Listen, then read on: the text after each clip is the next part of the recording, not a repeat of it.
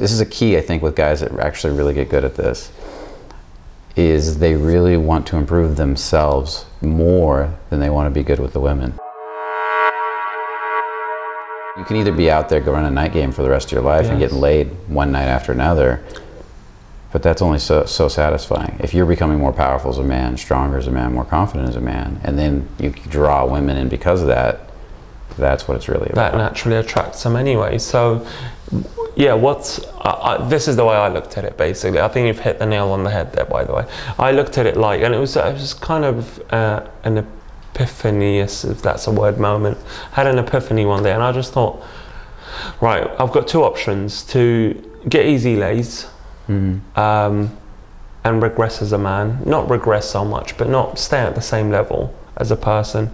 Um, out most nights, it's fun, it, it's sort of whiling the time away sort of vibe.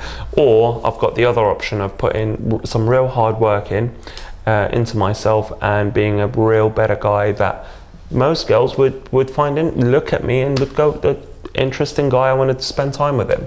As, as soon as they met me, within 10, 20 seconds. And that's the feeling I got from Day Game, where that came across straight away. There was no, cheating the system. You had to be your best self. And to this day, if I've had a rubbish day, if I've had a rubbish week, so say I've just been like inside lazy, I've just watched stupid YouTube videos all day, not not read anything, not improved myself in any way, not put any work into myself. Um, I'd go out the next day and it shows I'm not really satisfied with myself and the girls just feel it. They, they feel it in every which way that you, mm. you're, you're giving out those emotions.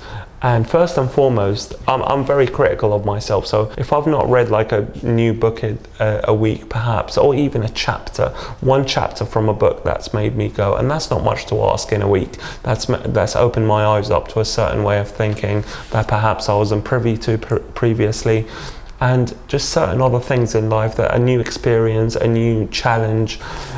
And when I do those things, like I was learning tennis in London recently, and I hired a coach properly to teach me. And when I do those things, I just I approach women, and it's a breeze. Mm. It's a breeze to just get along with them. And the reason for that is they're feeling you.